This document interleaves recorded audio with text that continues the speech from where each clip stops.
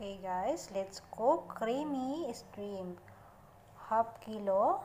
Then so, I have parsley, cilantro, lemongrass, garlic, onion, bell pepper, green, bell pepper red, and butter, 25 grams butter. And we need black pepper and sea salt and cooking cream. So, let's start. Okay, we put first the garlic.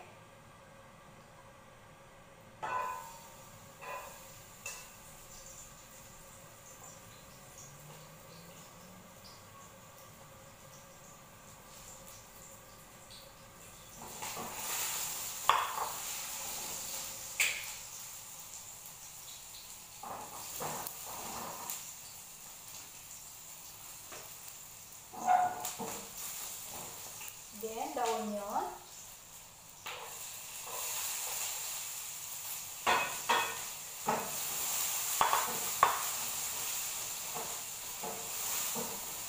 Then the lemongrass.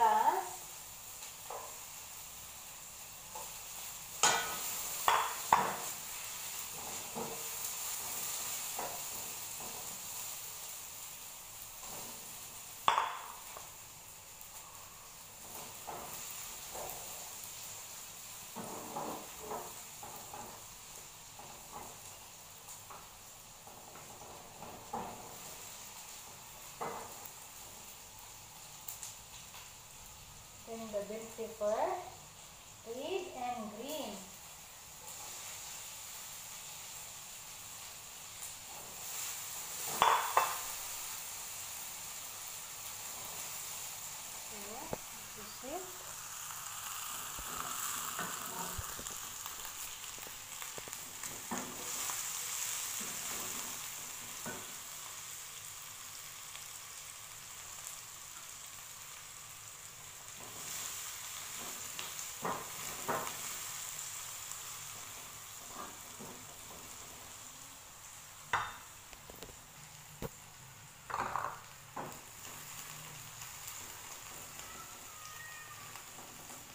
So now we need to put the stream.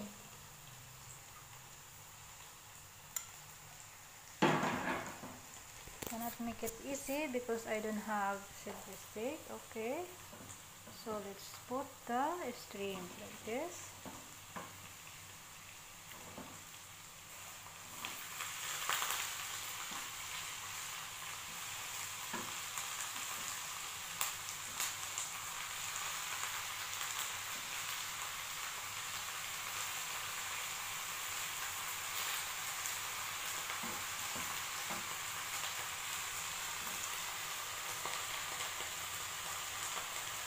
Okay, that's it.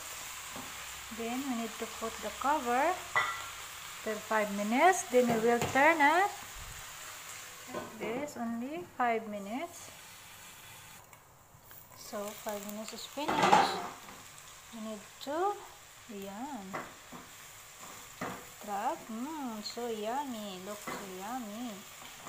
Okay.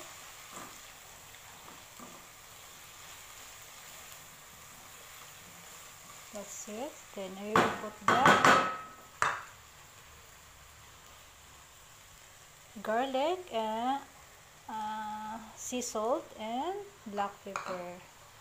And then the parsley and cilantro. That's it. So we need to turn again.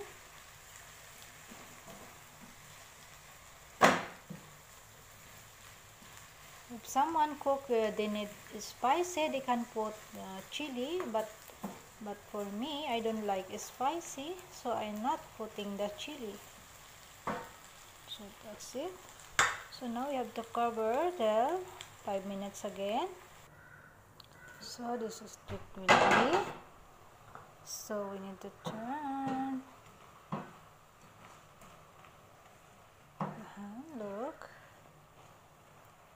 Look, I not put any water, right? She have uh, already water in her own. So now we need to put the one half cup of cream. Cream. This is one half cup of cream. Look. This is it. So this is the final. So we need uh, 20 minutes then it will be finished. So now we have to cover it till 20 minutes. Okay.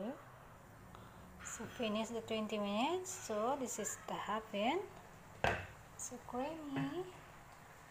Wow, so yummy. Now we need to turn off the fire. Okay.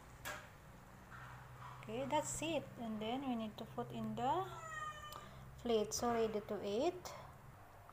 So this is it. The creamy is dream. This is finished, ready to eat. So this is all. So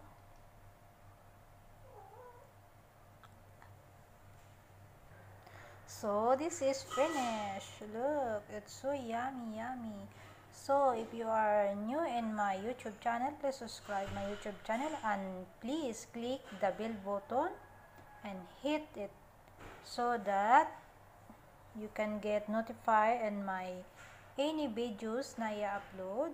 So thank you for watching. I hope that you will cook same like this. It's so yummy, yummy. It's really yummy.